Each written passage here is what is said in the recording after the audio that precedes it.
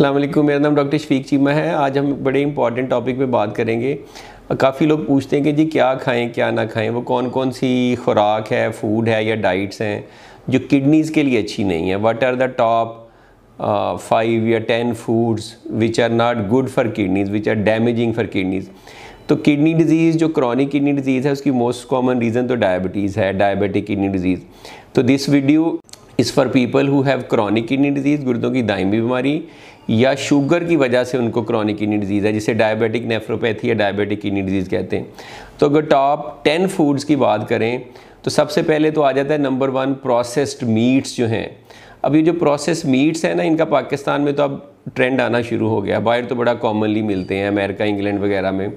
तो इसका salt content बहुत ज़्यादा होता है, इसमें नमक बहुत ज़्यादा होता है। नमक आपके गुर्दों के लिए अच्छा नहीं है, क्योंकि ये ब्लड प्रेशर बढ़ा सकता है। जब ब्लड प्रेशर बढ़ाएगा तो फिर आपको किडनी डिज़ीज़ की प्रोग्रेशन ज़्यादा करेगा।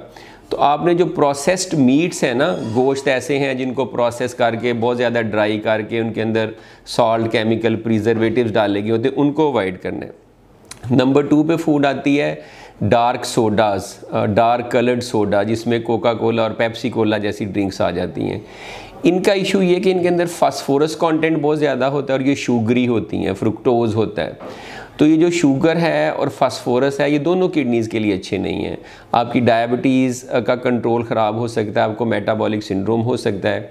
ज़्यादा फास्फोरस से आपको C K D related mineral bone disorder हो सकता है, आपकी बोन्स वीक हो सकती हैं।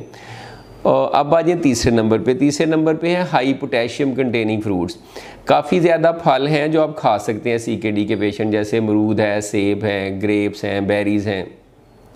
लेकिन कुछ फ्रूट्स होते हैं जिसमें टिपिकली बनानाज आ जाते हैं एवाकाडोज आ जाते हैं ऑरेंजेस आ जाते हैं, माल्टे मसमी ये सारे citrus fruits they are very rich in potassium अब सी में जैसे जैसे आपकी स्टेज प्रोग्रेस करती है पोटेशियम बॉडी से नहीं निकलता तो हाइपर क्लीमिया यानी पोटेशियम ज़्यादा होने का चांस होता है।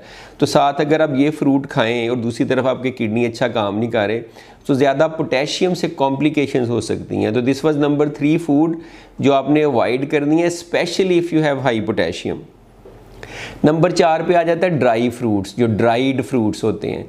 इनका भी सोडियम कंटेंट बहुत ज़्यादा हो सकता है पोटेशियम कंटेंट बहुत ज़्यादा हो सकता है। शुगरी भी हो सकते हैं, जैसे खजूर हैं। तो इसको भी आपने अवॉइड करना है। स्पेशली अगर आपका पोटेशियम ज़्यादा है फास्फोरस ज़्यादा है तो ये आप ज़्यादा नहीं ले सकते थोड़ी सी क्वांटिटी में ले सकते हैं। नंबर पाँच पे आ जाती हैं, जो बीन्स हैं या लेंटल्स हैं, दालें हैं, चने हैं बीन्स हैं, लोबिया वगैरह है। अब इनका इशू ये आता है कि इनमें फास्फोरस कंटेंट बहुत ज़्यादा होता है। वैसे तो प्रोटीन कंटेनिंग डाइट है, आप प्रोटीन भी थोड़ी कम कर रहे होते हैं। लेकिन because of the high phosphorus content और ये अगर डिब्बे वाले आप लें जो बॉक्सड हो तो उनमें फिर सोडियम भी ज़्यादा हो सकता है। तो यू शुड मोस्टली अवॉइड या कम क्वान्टिटी में लें, ताकि अगर आपका स्पेशली अगर आपका फास्फोरस ज़्यादा है तो वो फिर और ज़्यादा ना हो जाए। नंबर छः पे आ जाती हैं फास्ट फूड्स जो इंस्टेंट फूड्स होती हैं या पैकेट में फ़ूड होती हैं, अब लाते हैं, एक फ़्रोज़न पिज़्ज़ा लाते हैं, उसे बना लेते हैं या फास्ट फ़ूड जाके बर्गर खा लेते हैं। इनमें क्या इशू है? इनका वही इशू है जो प्रोसेस्ड मीट का था। इनका सॉल्ट कंटेंट नमक बहुत ज़्यादा है। नमक ब्लड प्रेशर बढ़ाता है, उससे आपके गुर्दों की बीमारी ख़राब होती है। नंबर सेवन पे आ जाते हैं फ्रूट जूसेस अब रेगुलर फ्रूट खाएँ, जैसे आपने फॉर एग्जांपल एक ऑरेंज खाया तो थोड़ा सा पोटेशियम होगा। लेकिन अगर आप 10 ऑरेंजेस का एक ऑरेंज जूस बनाते हैं तो उसमें 10 जो माल्टों का जो है ना, वो कंटेंट आ जाता है पोटेशियम आ जाएगा।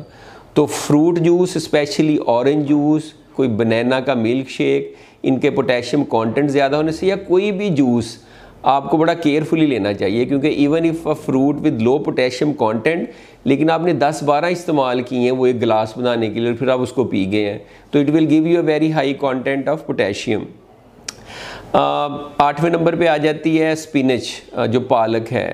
या ग्रीन लीफी वेजिटेबल्स हैं। इनके साथ दो इश्यूज़ हैं। एक इसका ऑक्जेलिक एसिड कंटेंट ज़्यादा होता है तो ऑक्जेलेट से स्टोन बन सकती है।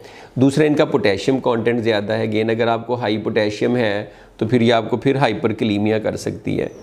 नाइन्थ पे आ जाते हैं जो स्नैक फूड्स होती हैं, कि आप जो है ना आपने फ्राइज़ ले लिए, या चिप्स ले लिए, या प्रेटसल ले लिए। इस तरह की जो फूड्स हैं ना, ये बड़ी एम्प्टी कैलोरीज होती हैं they are not healthy anyway but they are again rich in sodium salt नमक, नमकियात, उसकी वजह से ब्लड प्रेशर बढ़ सकता है। और नंबर टेन पे पोटैटोज़ और स्वीट पोटैटोज़ जो आलू है शक्करगंदी है, इस तरह की चीज़ें, इनका भी इशू वही है कि एक तो शुगर ही बड़े होते हैं कार्बोहाइड्रेट होता है, शुगर बढ़ सकती है डायबिटीज़ में। दूसरे, इनका पोटेशियम कंटेंट ज़्यादा है। उसको कम करने का सिर्फ़ एक तरीका है कि वो उसको कहते हैं लीचिंग कि आप उनका पोटेशियम निकालें, या उसे पानी में भगो के रखें, या पानी में बॉयल कर लें, उसके पीसीस करके तो उससे 50-60 परसेंट पोटेशियम निकल जाता है। तो इस तरह आप इस्तेमाल कर सकते हैं। तो these were the top ten foods या फ़ूड आइटम जो आपको अवॉइड करने चाहिए if you have a chronic kidney disease और स्पेशली साथ आपका ब्लड प्रेशर भी है।